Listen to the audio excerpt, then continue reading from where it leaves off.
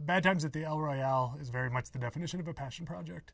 It, I wrote it for myself. It's that adage in screenwriting: just write what you want to see.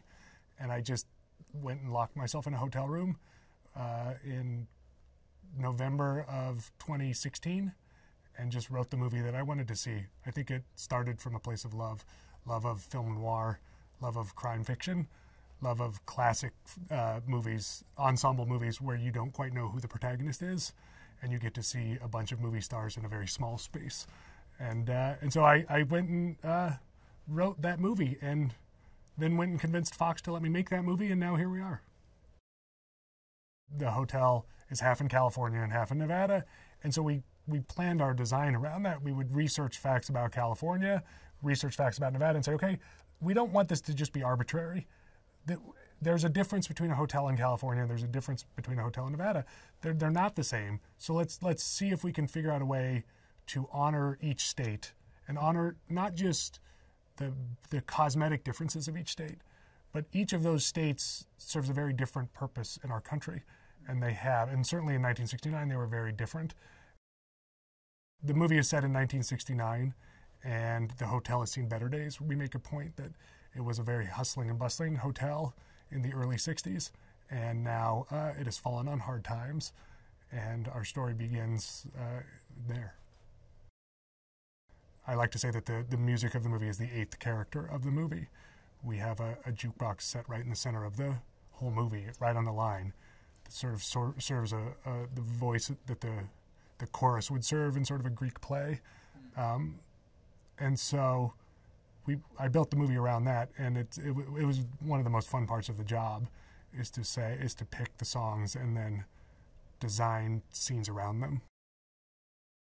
Part of writing a script is saying, is, is, is making a document that will attract uh, the cast that you want, and you have to really look at it and say, I got to give these actors something to play. When you when you go to a meeting with Jeff Bridges, you have to say to him, here's a chance to play something that you've never played before. And it's really hard when you have the career that Jeff Bridges has had to come up with something. So part of that is making sure all your characters have complicated stories. And and that's part of what we're trying to say with the El Royale. No one is who they appear. I had moments where I would sit around looking at our cast, looking at Jeff and Cynthia and Chris, Jon, Dakota, just sitting in a room with all of these heavyweights and thinking, how did I get here? I don't understand how I how I got to be so lucky, but I it it was never lost on me how special it was. When you look at Seamus's work, his work is always fearless, and yet somehow feels classic at the same time. Uh, those are two qualities I wanted this movie to have: to both feel familiar and beautiful and elegant and comfortable, and yet also bold and fearless, and that is in every frame of everything Seamus has ever shot, quite frankly. Bad Times at the El Royale was designed to play in theaters. We're shooting at Anamorphic on film for that reason. I love movie theaters. I love the communal experience. I love sitting in a movie theater and not knowing what's about to happen. And that, as much as anything, that's what I wanted to do with Bad Times. I wanted to feel that feeling when you're sitting next to somebody in a theater that you've never met before, and yet you both realize you don't know where this movie's going to go. When you hear some a stranger sitting next to you laugh at the same thing that you're laughing in, there's a connection that is made that we can't you can't replicate in your living room.